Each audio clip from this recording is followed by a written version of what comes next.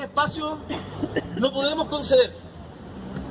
Y me atrevo a hablar a nombre por lo menos del movimiento autonomista en esto, de que como parte del Frente Amplio y más allá de las diferencias que podamos tener con diferentes organizaciones, de que el legado del Frente, tanto del Frente como el Frente Autónomo posteriormente, es algo que tenemos que defender en la historia. Y, y por lo tanto, permítanme humildemente expresarle todo mi respeto. Mi respeto también a la distancia a Ramiro, a la lucha que ustedes como familia están dando por la dignidad.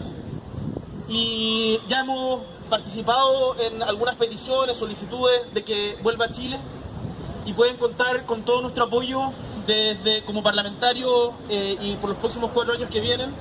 Y también, insisto, me atrevo a hablar a nombre del movimiento autonomista para realizar todas las gestiones que sean necesarias y que cuenten con nosotros no solamente en traerlo de vuelta, sino además en la lucha por la historia y por la memoria.